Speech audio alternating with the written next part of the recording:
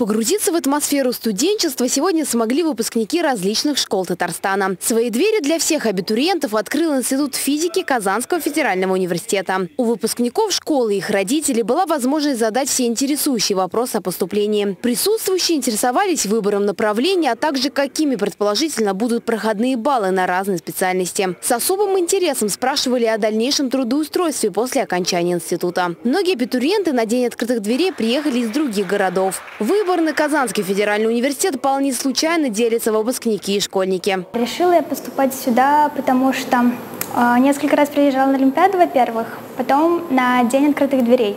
И вот когда сидела в аудитории, просто прочувствовала все это и прям захотела, что вот именно мое это, и хочу сюда поступать. КФУ – это один из самых передовых университетов вообще мира.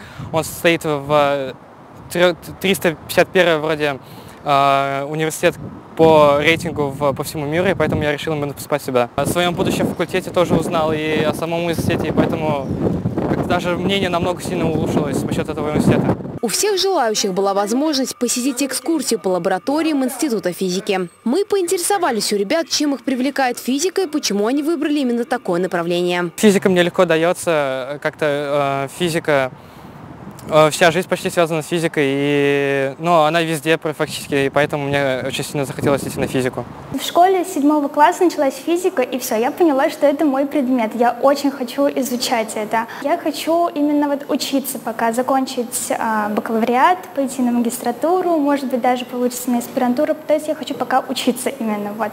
Институт физики Казанского университета является очень востребованным. На сегодняшний день сюда подали свои документы уже 25 стобалльников. Анна Глазунова, Ленар Давлетьяров, Univer News.